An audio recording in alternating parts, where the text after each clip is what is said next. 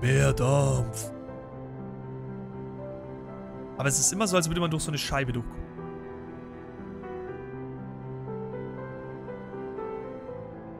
Diese Lensflare-Effekte, Traum.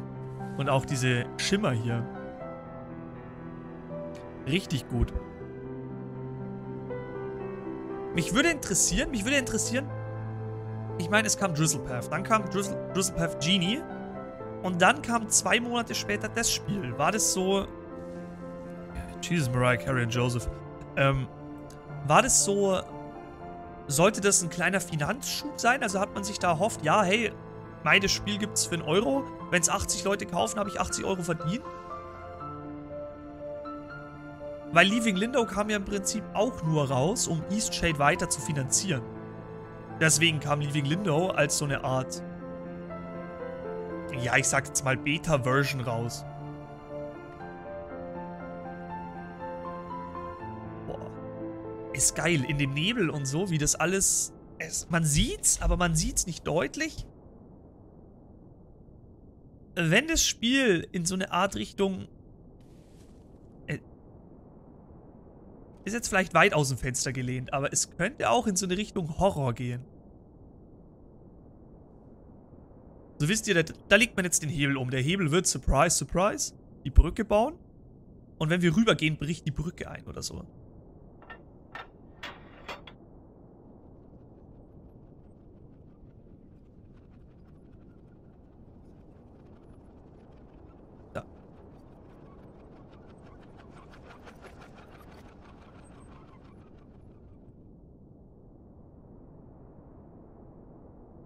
Es wird auch, auch hier ist eine unsichtbare Wand, es wird wirklich frühzeitig verhindert, dass so Trottel wie ich auf die Idee kommen, da jetzt runterzuspringen und vom Weg abzukommen. Es wird frühzeitig verhindert. Es ist sehr, ein sehr, sehr enger Raum.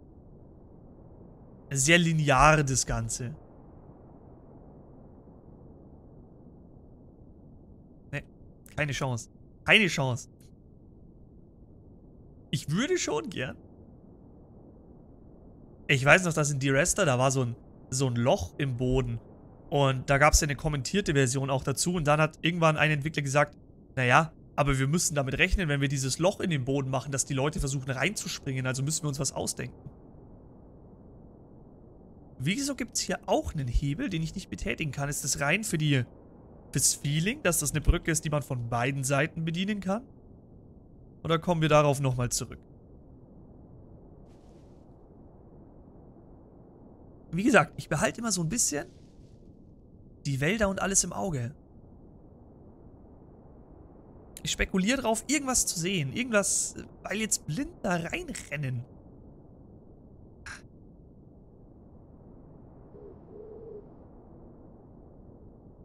Da ist der Hirsch.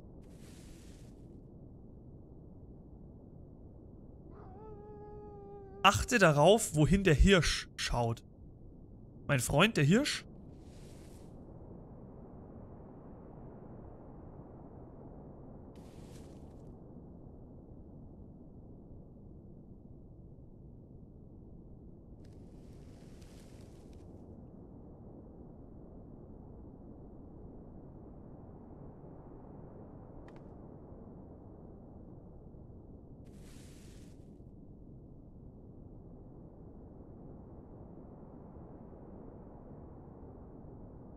Was an sich schon mal gut ist, ist, dass hier nirgendwo eine unsichtbare Wand ist.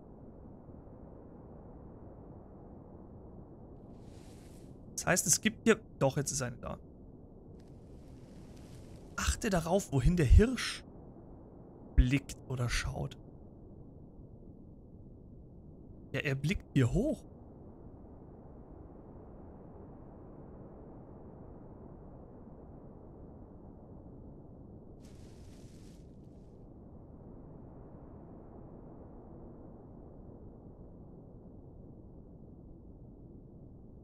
Wo schaust du hin? Streichle ich mal.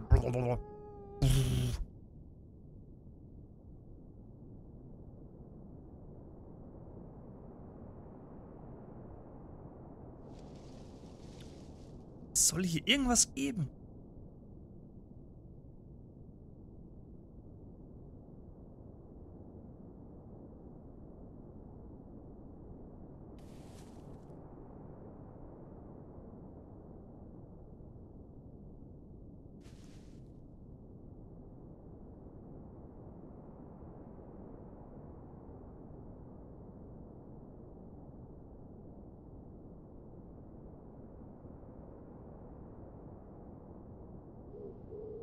Also hier ist eine unsichtbare Wand.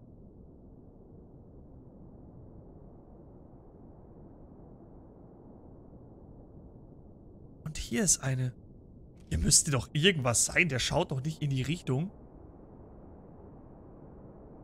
Und wir können den Pfad hier abwatscheln, aber hier ist nichts.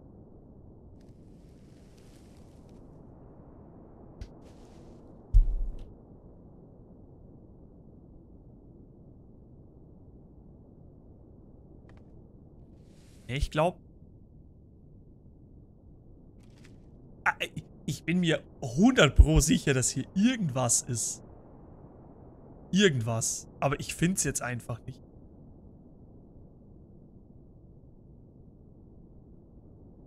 Schade. Schade. Jetzt so ein bisschen. Wahrscheinlich bin ich zehnmal dran vorbeigelaufen. Aber wenn es natürlich zu kryptisch versteckt ist, habe ich halt auch keine Chance.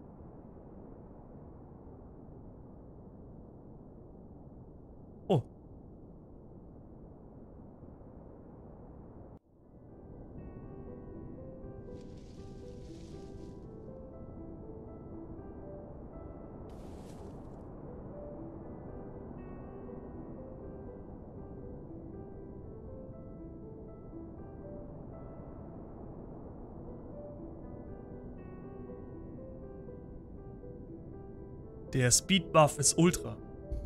Den bräuchten wir öfter.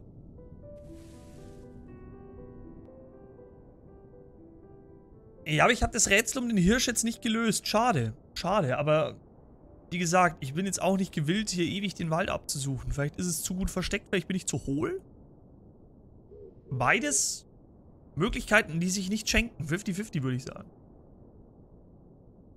Es ist sehr wenig Geschichte bisher. Wir haben drei Zettel gefunden. Wenn man die Beschreibung liest, weiß man, um was es geht. Aber ansonsten muss ich schon sagen, dass diese ständigen Gesprächsmonologpassagen in Drizzlepath mir schon etwas mehr gegeben haben. Gut ist natürlich, dass das Spiel ein Stück weit interaktiver ist, also dass man die Axt versuchen konnte zu nehmen, dass man Türen öffnen kann. Das sind Kleinigkeiten, die ich einfach schön finde. Allerdings auch eine Fähigkeit, wo ich jetzt sagen muss, ja, haben wir jetzt auch schon seit 10 Minuten nicht mehr genutzt.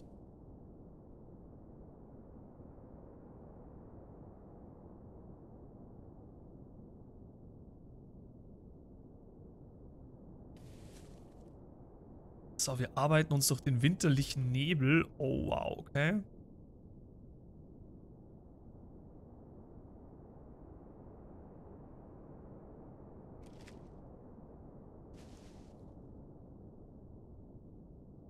Stört dieses... Diese verdreckte Scheibe, durch die wir schauen.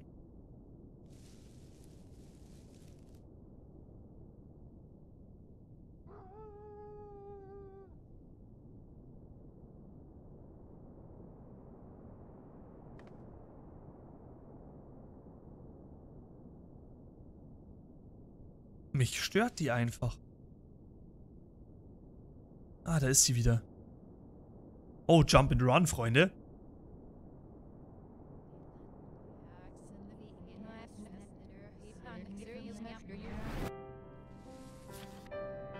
Überall sind Brücken. Die verbinden nicht. Doch du näherst dich dem Ende von was. Vielleicht brauchst du einen letzten Hinweis. Da liegt ein Grab, rechts des Weges.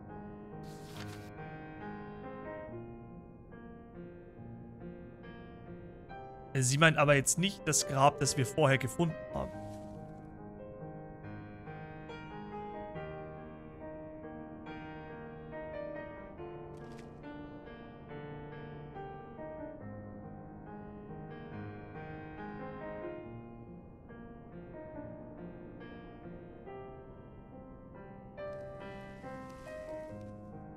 Ich meine, das Rätsel um den Hirsch haben wir schon, haben wir auch nicht lösen können. Finden wir zumindest das sagenumwobene Grab abseits des Weges?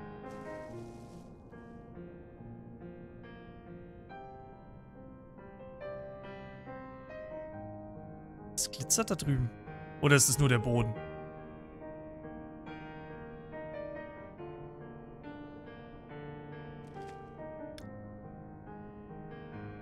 Nur der Boden.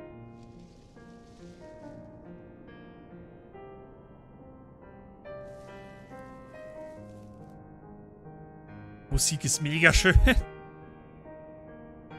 Also es ist so... Äh, es ist einfach mega schön. Die Stimme, also die Musik ist auch so gut, finde ich, abgestimmt auf dieses Wetter.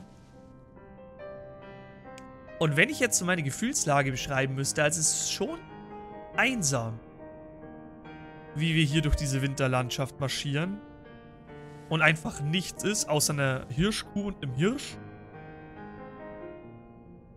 Aber irgendwie vermittelt das Klavier auch für mich so eine Stimmung, ich bin gerade auf dem Heimweg. Ich bin gerade auf dem Heimweg und da wartet irgendwie meine Frau am Kamin schon auf mich. So fühlt sich's gerade an.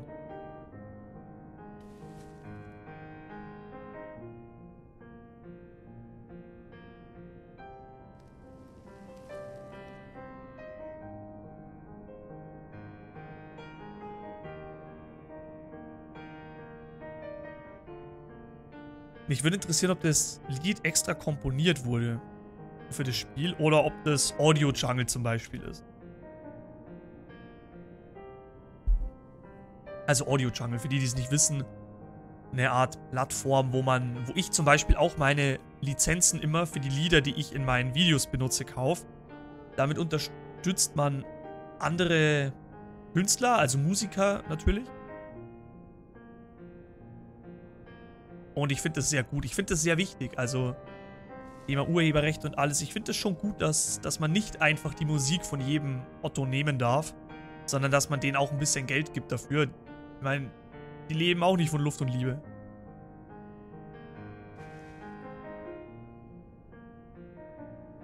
Wobei ich muss schon sagen, ich finde es ein bisschen heftig. Also, ich habe da eben mit dem Übersetzer in den Kommentaren so ein bisschen gequatscht. Auf wie weit sind wir reingegangen? Ich habe die so ein bisschen gequatscht und meinte so, na klar, okay, die Spiele von Tonguch Budor, beziehungsweise die ersten, haben halt nur einen ausgeglichenen, also ausgeglichene Rezensionen. Das heißt weder besonders gut noch besonders schlecht.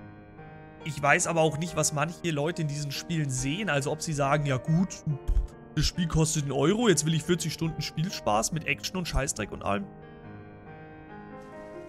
Ich weiß nicht, in was für einer Relation die das sehen. Ich finde halt wirklich 70 Cent für ein Spiel ist sehr billig. Andererseits muss ich sagen, ich hätte es möglicherweise auch nicht ausprobiert, wenn es 5 Euro gekostet hätte. Weil ich habe mir dann mal so ein, so ein Bundle gekauft, das gab es irgendwie, so ein Steam Sale. Habe ich glaube ich 5 Spiele gekauft für 4 Euro. Wenn jetzt jedes Spiel 5 Euro gekostet hätte, hätte ich es mir lang überlegt. Beziehungsweise weiß ich nicht, ob ich nach dem ersten oder zweiten Teil weitergemacht hätte. Ah, ich denke, so 2 Euro oder so ist es normalerweise schon wert. 70 Cent ist halt echt hart.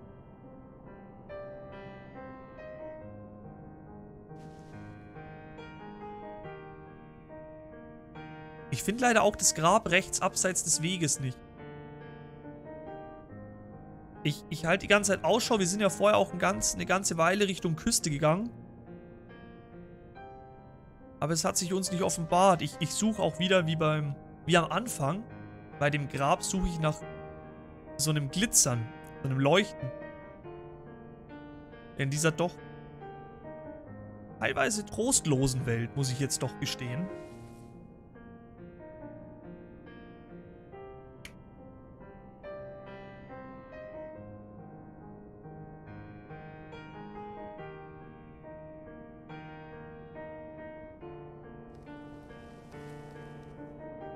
More support from underground.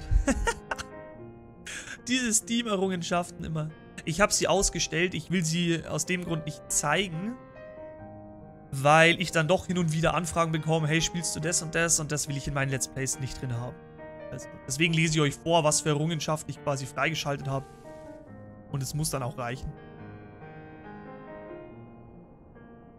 Das ist ja eine mega geile Allee, ist zu viel gesagt, aber hier mit den Bäumen links und rechts und überall Wasser. Ich bin ja übelst die Wasserratte.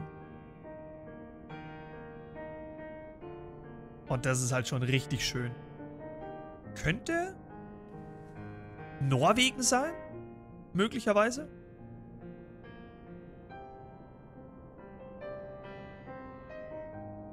Oh, krass. Kann sein, dass es das schon war?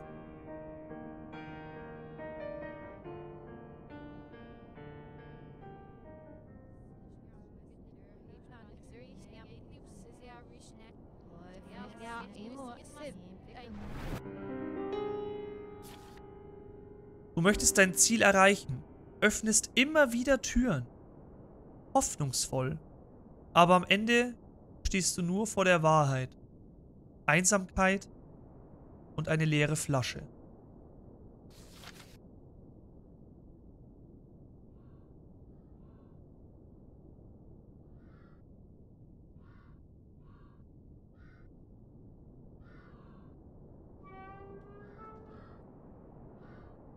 Stopp.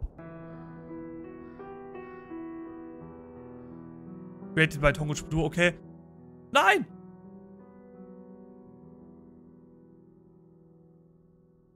Jetzt habe ich da nicht gescheit. Man sieht es noch ein bisschen. Thanks for playing.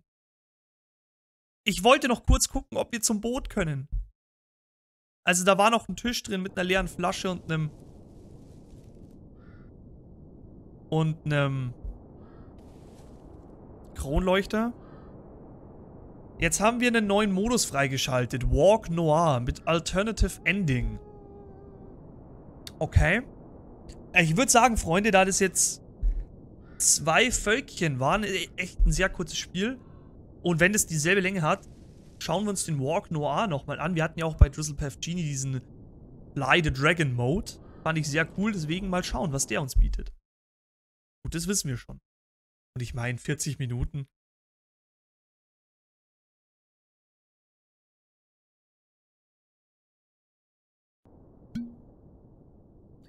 Hit me again. Wieder eine Errungenschaft. Hit me again. Oh, okay, das meinen sie mit Noir. Oh, ist das düster. Ich lese es jetzt einfach nochmal durch, okay? Um es nochmal ins Gedächtnis zu rufen. Sie sagte, ich muss gehen. Mein Herz zerbrach in meiner Brust. Konnte die Tränen nicht zurückhalten konnte nur noch sagen, weiß. Inspiriert durch die Geschichte aus Drizzlepath Genie von Sabina Kaschka.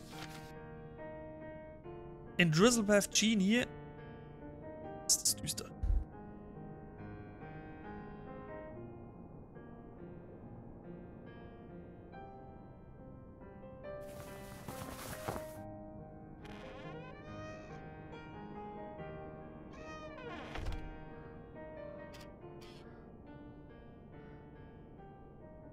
Okay, es sieht wie ein Schwarz-Weiß-Film. Boah, es ist aber jetzt, jetzt hat schon sehr krasse, so ein Horror-Mood, finde ich.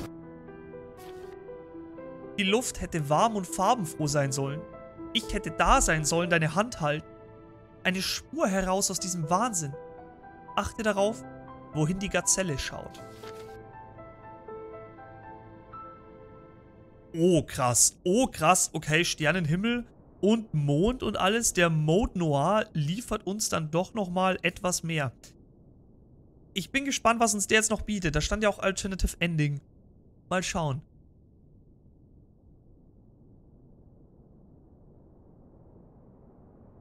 Ah, es ist schon... Und diesmal schaue ich genau hin, sorry. Ich wusste nicht, dass das Spiel direkt endet, wenn man die Tür öffnet. Ich dachte, man kann zumindest nochmal, bevor man reingeht, wisst ihr, ich dachte, man, man muss reingehen, bevor das Spiel endet. Sternenklarer Himmel. Also das Spiel beschäftigt sich, wenn ich jetzt mal so eine psychologische Analyse machen darf, mit dem Problem des Alkoholismus. Also was mit Menschen passiert, die sich im Alkohol verlieren.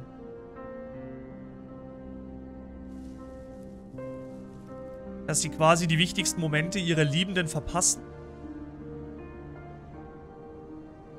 Und sie dadurch natürlich auch verlieren. Und letztendlich sind sie einsam. Und nichts bleibt, wie zum Schluss auch gesagt wird, außer die Einsamkeit und eine Flasche.